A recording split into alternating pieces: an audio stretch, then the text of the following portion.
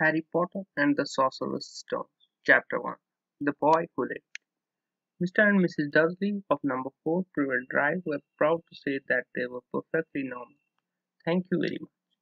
They were the last people you would expect to be involved in anything strange or mysterious, because they just didn't hold with such nonsense.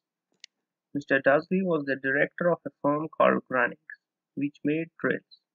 He was a big, beefy man with hardly any neck although he did have a very large moustache.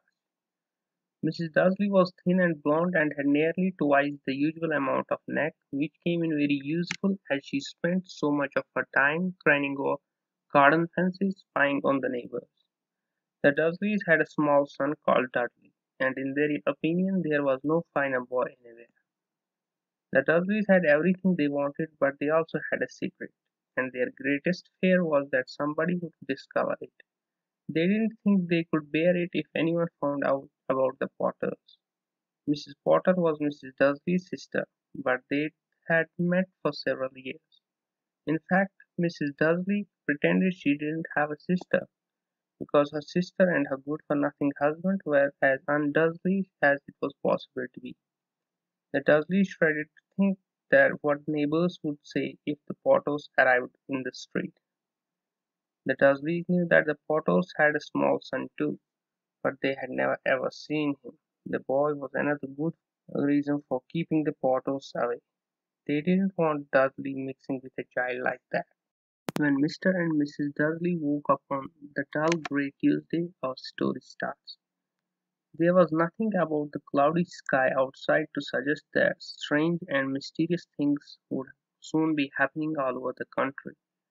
Mr. Dursley hummed as he picked out his most boring type for work, and Mrs. Dursley gossiped away happily as she wrestled and screaming Dudley into his high chair.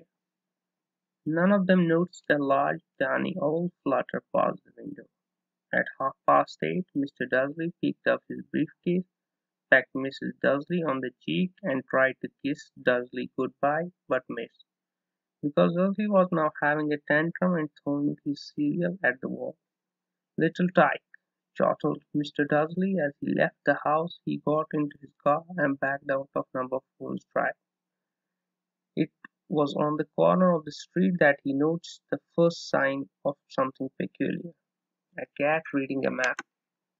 For a second Mr. Dudley didn't realize what he had seen. Then he jerked his head around and looked again.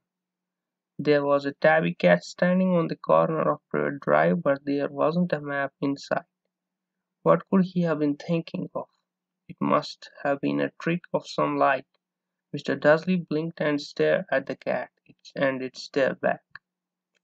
As Mr. Dursley drove around the corner and up the road, he watched the cat in his mirror. It was now reading the sign that said Privet Drive. No, looking at the sign. Cats couldn't read maps or signs. Mr. Dursley gave himself a little shake and put the cat out of his mind. As he drove towards town, he thought of nothing except a large order of drills he was hoping to get that day. But the edge of the town drills were driven out of his mind by something else. As he sat in the usual morning traffic jam, he couldn't help noticing that there seemed to be a lot of strangely dressed people around. People in cloaks. Mr. Dursley couldn't bear the people who dressed in funny clothes the get-ups you saw on young people. He supposed this was some stupid new fashion. He drummed his fingers on the steering wheel and his eyes fell on a huddle of these weirdos standing quite close by. They were whispering excitedly together.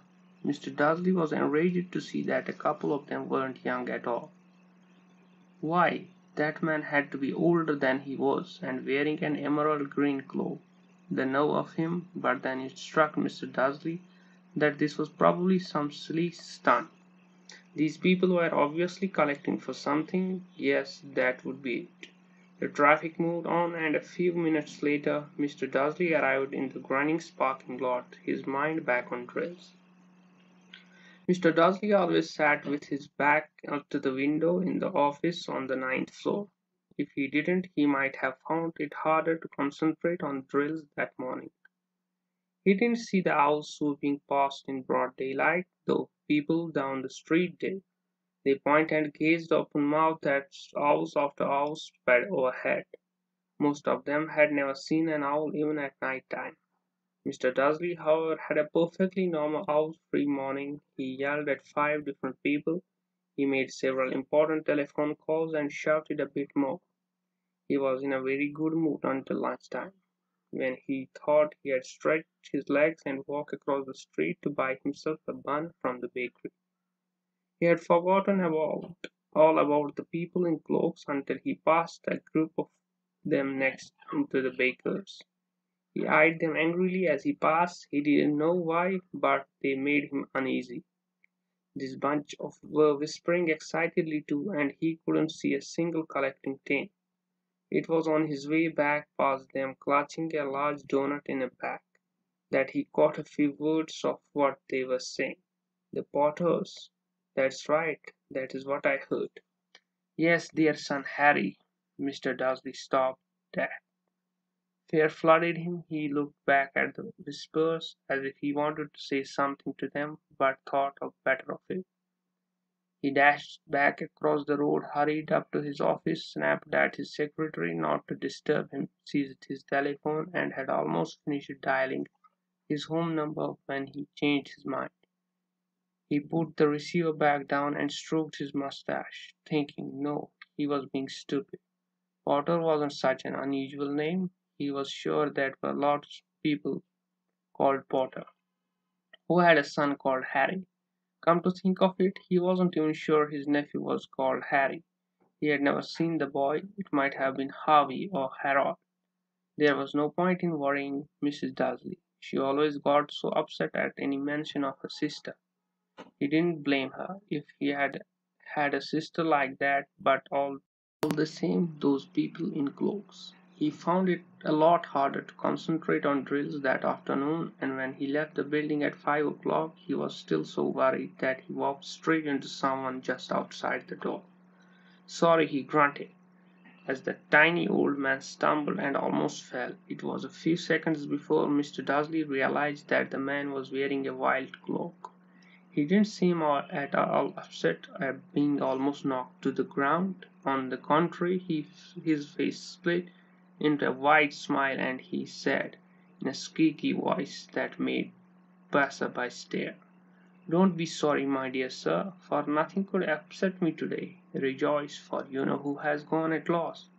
Even muggles like yourself should be celebrating this happy, happy day." And the old man hugged Mr. Dursley around the middle and walked off. Mr. Dursley stood rooted to the spot.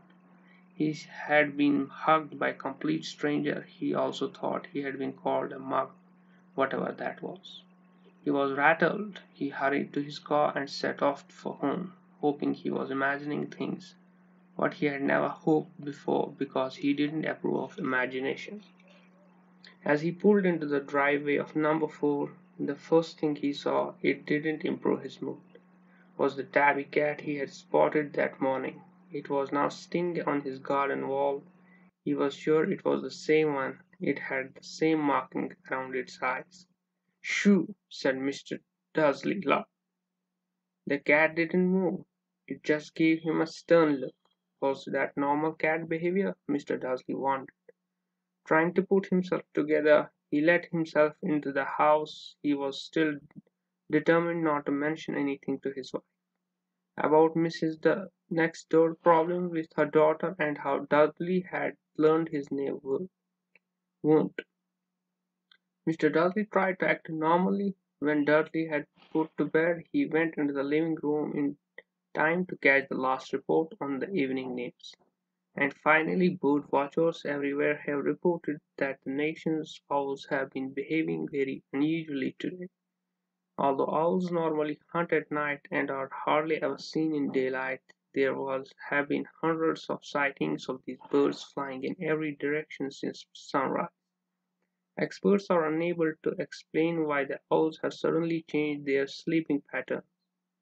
The newscaster allowed himself a grin.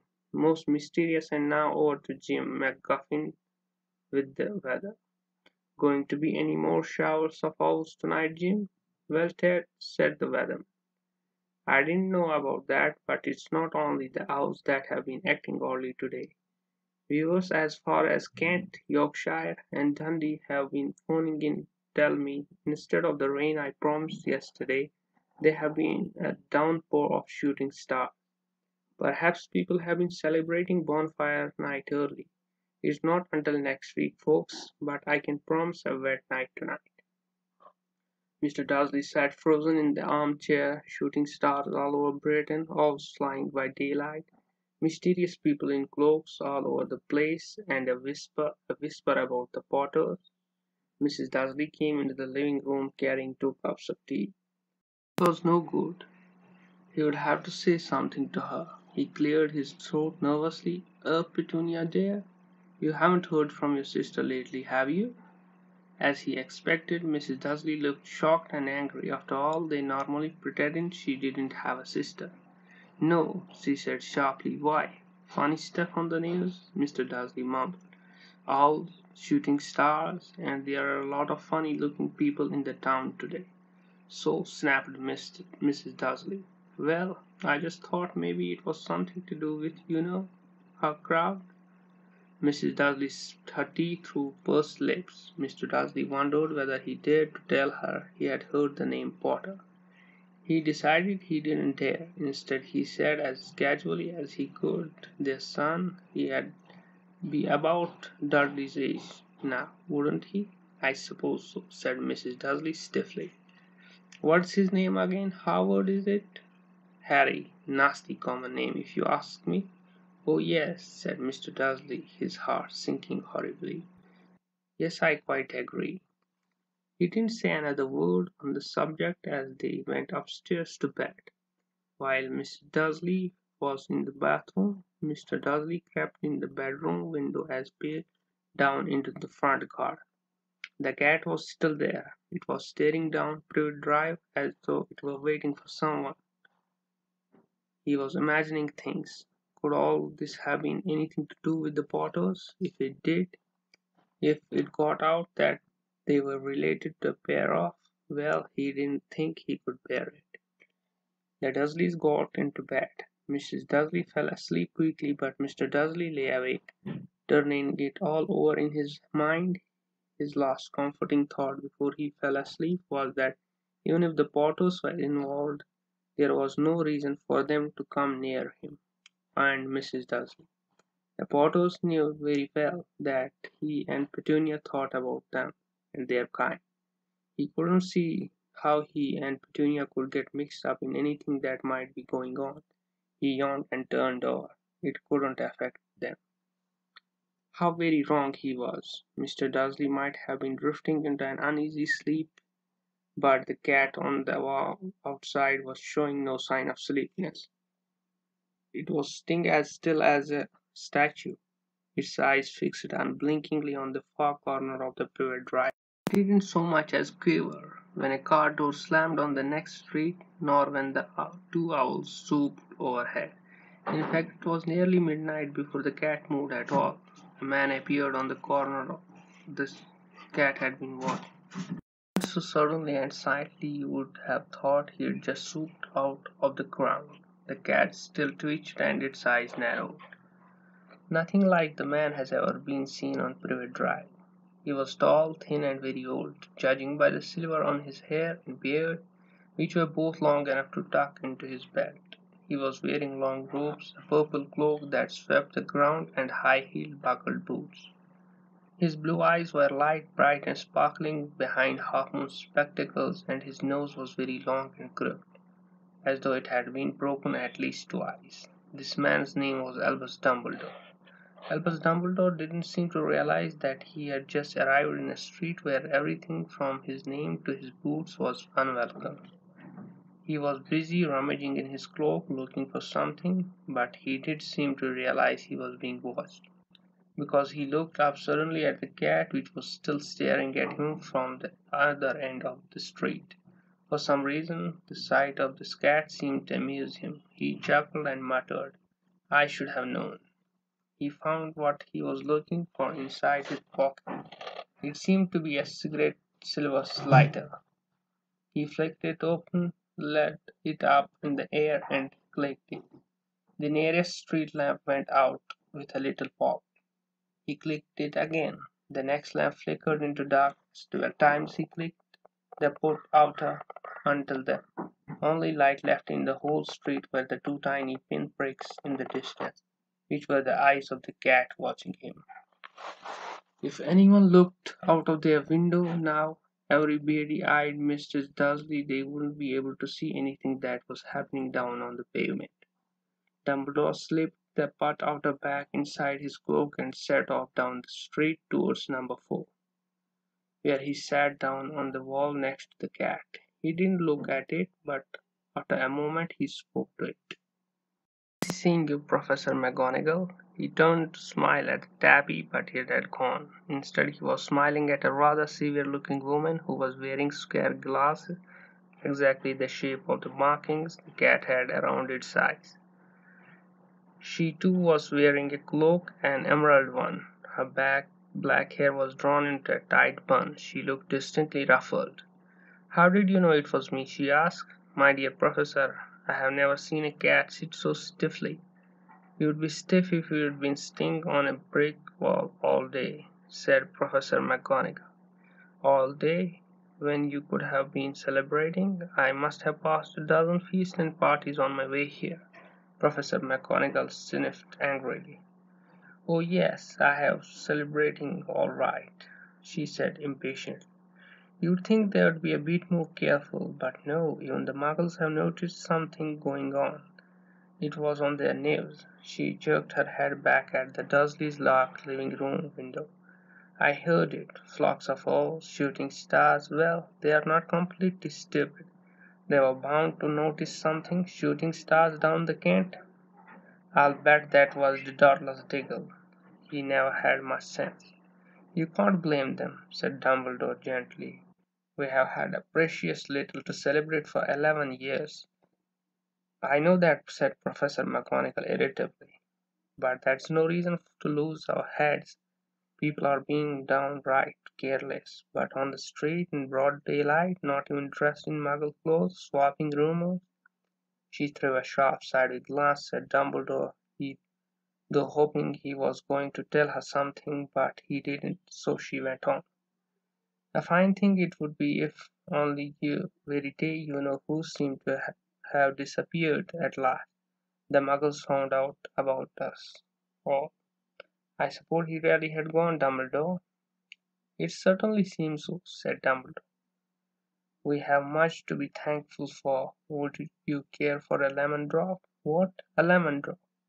These are kind of muggle sweets I am rather fond of. No, thank you, said Professor McGonagall coldly, as though she didn't think of this was a moment for lemon drops. As I say, even if you know who had gone, my dear Professor, surely a sensible person like you can call him by his name. All this you know who nonsense. For eleven years I have been trying to persuade people to call him by his proper name, Voldemort. Professor McGonagall flinched, but Dumbledore, who was unsticking two lemon drops, seemed to have noticed. It all gets so confusing if we keep saying, you know who. I have never seen any reason to be frightened of saying Voldemort's name. I know you haven't said Professor McGonagall sound half exasperated, half admiring, but you are different. Everyone knows you are the only one you know who. Oh, all right, Voldemort was frightened. You flatter me, said Dumbledore calmly. Voldemort had powers I will never have, only because you are too, well, noble to use them. It's lucky it's dark. I haven't blushed so much since Madame Pomfrey told me she liked my new earmuffs. Professor McGonagall shot a sharp look at Dumbledore and said, Those are nothing next to the rumors that are flying around. You know what they are saying about what why he has disappeared, about what finally stopped him? It seemed that Professor McGonagall had reached the point she was most anxious to discuss, the real reason she had been waiting on a cold, hard wall all day, for neither as a cat nor as a woman had she fixed Dumbledore with such a piercing stare as she did now. It was plain that whatever everyone was saying, she was not going to believe it until Dumbledore told her it was true. Dumbledore, however, was choosing another lemon drop and did not answer. "What they're saying," she passed on. "It's the last night Voldemort turned up in Godric's Hollow. He went to find the Potters. The remorse is that the Lily and the James Potter are what they are dead. Dumbledore bowed his head. Professor McGonagall gasped. Lily and James, I can't believe it. I didn't want to believe it. Oh, Albus. Dumbledore reached out and patted her on the shoulder. I know, I know, he said heavily. Professor McGonagall's voice trembled as she went on. That is not at all. All. They are saying he tried to kill the Potter's son Harry, but he couldn't. He couldn't kill that little boy. No one knows why or how, but they are saying that when he couldn't kill Harry Potter, Voldemort's power somehow broke, and that's why he's gone. Dumbledore nodded glumly. It is, it is true, faltered Professor McGonagall. After all he has done, all the people he has killed, he couldn't kill a little boy. It's just astounding of all the things to stop him. But how in the name of the heaven did Harry survive? "We can only guess," said Dumbledore. "We may never know." Professor McGonagall pulled out a lace handkerchief and dabbed at her eyes beneath her spectacles. Dumbledore gave a great sniff as he took a golden watch from his pocket and examined it. It was a very odd watch. It had twelve hands but no numbers. Instead little planets were moving around the edge. It must have made sense to Dumbledore though because he had put it back in his pocket and said, Hagrid is late. I suppose it was he who told you I would be here by the way. Yes, said Professor McGonagall. And I don't suppose you are going to tell me why you are here of all places. I have come to bring Harry to his aunt and uncle. They are the only family he has left now. You don't mean, you can't mean that the people who live here? cried Professor McGonagall jumping on her feet and pointing at number four. Dumbledore, you can't. I have been watching them all day. You couldn't find two people who are less like us, and they have got the son. I saw him kicking his mother all the way up the street, screaming for sweets. Harry Potter come and live here? It's the best place for him, said Dumbledore firmly. His aunt and uncle will be able to explain everything to him when he is older. I have written them a letter. "A letter?" repeated Professor McGonagall faintly, sitting back down on the wall. "Really, Dumbledore, you think you can explain all this in a letter? Those people will never understand him. He will be famous, a legend. I wouldn't be surprised if today was known as Harry Potter Day in the future. There will be books written about Harry. Every child in our world will know his name." "Exactly," said Dumbledore, looking for seriously over the top of his half-moon glasses. It would be enough to turn on any boy's head.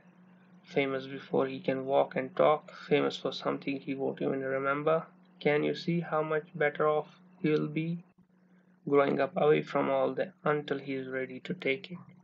Professor McGonagall opened her mouth, changed her mind, swallowed, and then said, Yes, yes, you are right, of course. But how is the boy getting here, Dumbledore? She eyed his cloak suddenly as though she had thought the knight be hiding Harry underneath it. Hagrid is bringing him.